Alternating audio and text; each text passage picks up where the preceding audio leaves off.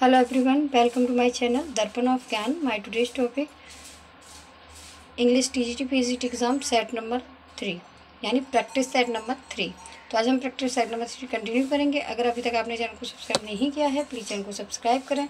साथ में bell icon को प्रेस करें। इससे आने वाली नई नई वीडियोज़ की लेटेस्ट अपडेट आपको मिलती रहे। वीडियो हेल्पफुल लगे तो प्लीज़ लाइक करें शेयर करें एंड चैनल को सब्सक्राइब करें।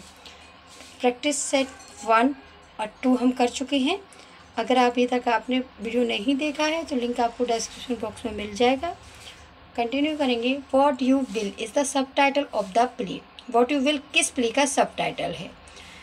ऑप्शन है as you like it the comedy of errors the merry wives of Windsor and twelfth night तो इसका सही आंसर है ऑप्शन डी ट्वेल्थ नाइट और ये ट्वेल्थ नाइट विलियम शेक्सपियर द्वारा लिखी गई है। नेक्स्ट क्वेश्चन है in which play of Shakespeare the monologue a fool a fool I met a fool the forest अकस किस किस प्ले से ये लाइन ली गई हैं? तो option A as you like it B the comedy of errors C the taming of the shrew and D Coriolanus the right answer option A as you like it next है ये भी Shakespeare का है, वो speaks the एवम monologues ये वाला monologue किसने स्पीक किया? यानी किसने बोला है? Option A Oliver option B Orlando option C Adam and option D Jaques इसका सही आंसर होगा ऑप्शन डी ये जैक्यूस की लाइन है। नेक्स्ट क्वेश्चन है William Wordsworth was made poet laureate in William Wordsworth poet laureate कब बनी थी? Option A eighteen fifty, option B seventeen seventy option D, sorry, option C eighteen forty three, option D eighteen thirteen. Right answer होगा option C. William forty three में poet laureate बनी थी। और ये question English TGT exam में कई बार repeat हो चुका है। तो most most important, very very important question है 1843 में। नेक्स्ट क्वेश्चन है Dorothy who influence William Wordsworth too much watch his Dorothy जो विलियम वर्ड्सवर्थ से बहुत ज़्यादा प्रभावित थी, वो कौन थी? वो उनकी कौन थी? Mother beloved sister and wife का सही आंसर होगा ऑप्शन सी सिस्टर वो उनकी सिस्टर थी डोरोथी नेक्स्ट क्वेश्चन है Wordsworth died in the year Wordsworth की डेथ किस ईयर में हुई थी?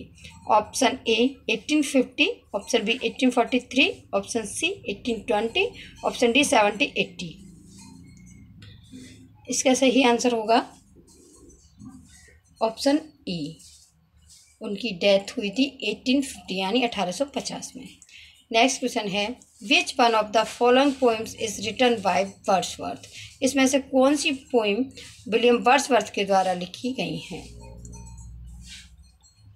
Option A ode to duty option B ode to west wind C ode to nightingale and D ode on solitude the right answer option A ode to duty ये William Shakespeare के sorry William Wordsworth के द्वारा लिखी गई है। Next है in which poem verse Wordsworth said that we are pressed by heavy laws option A है recluse option B daffodils, option c, the world is too much with us, option d, the fountain. तो सही answer होगा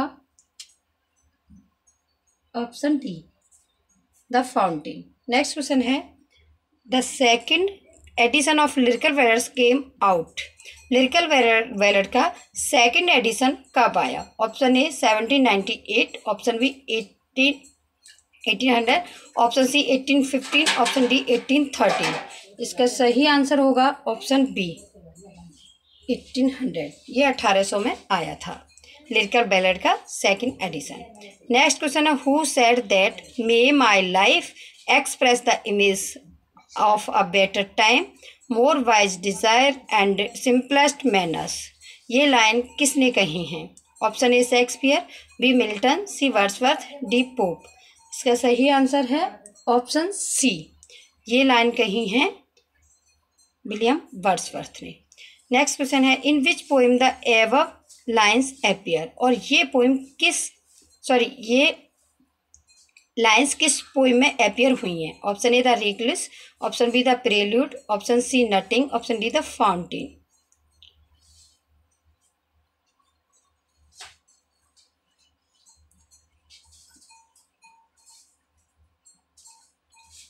इसका सही answer होगा option B, the prelude में। ये लाइनें द प्रिल्यूड में कही गई हैं।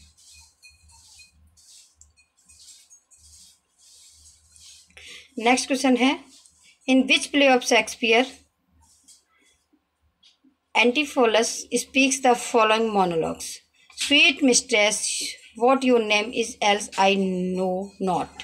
Option A the merchant of Venice option B the comedy of errors option C Henry six two option D Macbeth इसका सही आंसर होगा option B the comedy of errors next question है which novel of Gals Galsworthy attacked the artificial veneer of urban life option A Jocelyn option B the island pharisees option C fraternity option D the dark flower इसका सही answer होगा option C ये fraternity में दिया गया है।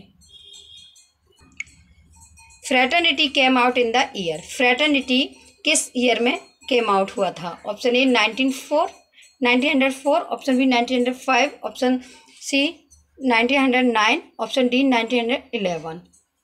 तो ये फ्रेटर्निटी प्ले कब आया था। इसका सही आंसर है ऑप्शन सी। ये नाइनटीन हंड्रेड नाइन, यानी उन्नीस सौ नौ में आया था। Galsworthy's novel swan song came out in the year. Galsworthy का जो नोवल है, स्वान सॉन्ग, ये कब, किस ईयर में आया था? Option A nineteen twenty five, option B nineteen twenty eight, option C nineteen thirty one, option D nineteen thirty five. इसका सही आंसर होगा ऑप्शन बी। ये नाइनटीन ट्वेंटी एट में आया था। नेक्स्ट क्वेश्चन है which play of Shakespeare came out under the title the first part of the contention betwixt the two famous houses York and Lancaster कौन सा play आया था? इस टाइटल के under option A Henry six part one option B Henry six part two option C Henry six part three and option D Henry fourth इसका सही answer है option B. Next question है the ever play came out in the year और ये play कब आया था? Option A fifteen ninety option B fifteen ninety four option C fifteen ninety seven option D fifteen ninety eight इसका सही answer है option B fifteen ninety four Shakespeare's comedy love's lever lost was perform about the year जो Shakespeare की comedy loves लेवर lost was perform about किस year में perform हुई थी?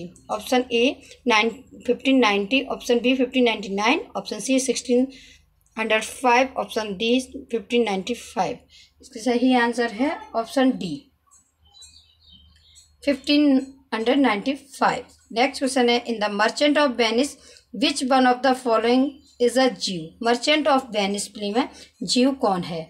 Which one of the following is a Jew option A Shylock option B Antonio option C Bassanio option D Lorenzo इसका सही answer है option A Shylock Shylock is presented as a Shylock को कैसा present किया गया है? Option A hero option B villain option C side hero option D priest इसका सही आंसर है ऑप्शन बी साइलो को बिलेन प्रेजेंट किया गया है.